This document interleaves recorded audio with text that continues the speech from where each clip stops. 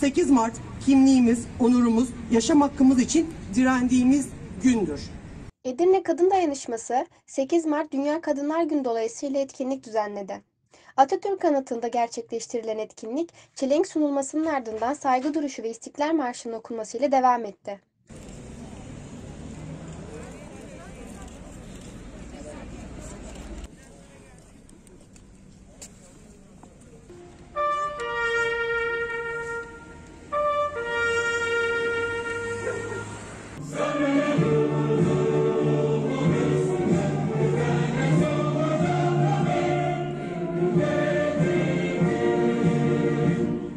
Gerçekleştirilen etkinlikte konuşan Trakya Roman ve Engelliler Yardımlaşma ve Dayanışma Derneği Yönetim Kurulu üyesi Gizem Arı, bizler 8 Mart Dünya Emekçi Kadınlar Günü'nde her yıl meydanlarda hep aynı şeyleri söylemek zorunda kalıyoruz.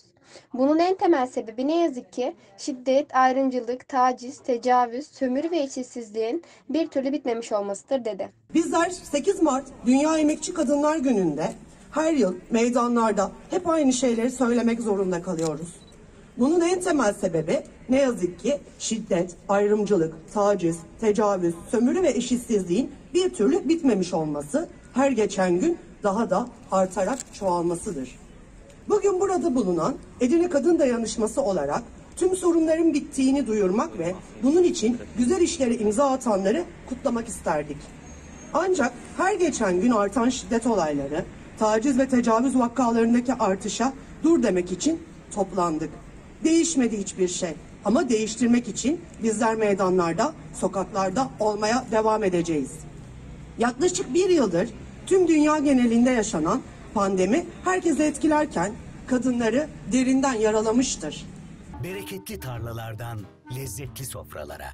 Bir yağ ayçiçek yağı ve bir ma margarin. Trakya Birlik'ten. Covid-19 sürecinde daha fazla kadın cinayeti, şiddeti, ayrımcılığı yaşanmıştır. İş yerlerinde küçülmeye giden kuruluşların birçoğu ilk olarak kadın personeli işten çıkarımlarına başlamıştır. 2020 yılında 300 aşkın kadın cinayeti yaşandı. Eşi tarafından pompalı tüfekle çalıştığı iş yerinde katledilen Nilay'ı unutmadık. Bugün Nilay ve diğer katledilen kadınların hüznünü içimizde yaşıyoruz. Artık yeter demek için meydanlardayız. Bugün tüm dünya kadınlarının insanca yaşam için sesleri daha gür çıkacak. Bugün kadınların cinsiyet ayrımcılığını ortadan kalkması, özgür, eşit bir birey ve toplumun oluşumu için sesleri daha gür çıkacak. Bugün kadınların şiddet, cinayet, taciz ve tecavüz son bulsun diye sesleri daha gür çıkacak. Bugün kadınların istismar, şiddet gibi yaşanan olaylarda adaletin sağlanabilmesi için sesleri daha gür çıkacak. Bugün kadınların meydanlarda bayram yapabilmeleri için sesleri daha gür çıkacak. Bizler her gün artan üçüncü sayfa haberlerinin nedenini biliyoruz. Bunun tek sebebi uygulanan yanlış politikalardır. Dini referanslar dikkate alınarak kanuni düzenlemeler yapılmakta. Esas yerinin ev olduğu algısı yaratılmaya devam edilmektedir. Kadının evlenme yaşı, kaç çocuk doğurması gerektiği dikte edilmektedir.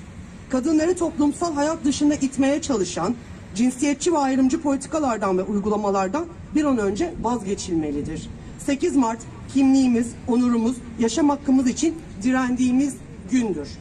8 Mart ayrımcılığa dur dediğimiz, şiddete yeter dediğimiz günün adı olmamalı. 8 Mart kadınların birlikte neler başarabildiklerini anlattığı, rol modellerin çocuklara ya da gençlere örnek olduğu bir gün olana dek bizler haykırmaya, yaşadığımız olumsuzlukları anlatmaya devam edeceğiz. Biz kadınlar olarak özgürce yaşamak, hayatın her alanında var olmak istiyoruz. İşte de, evde de özgürlük ve eşitlik istiyoruz. Geceleri sokaklarda korkmadan dolaşmak istiyoruz.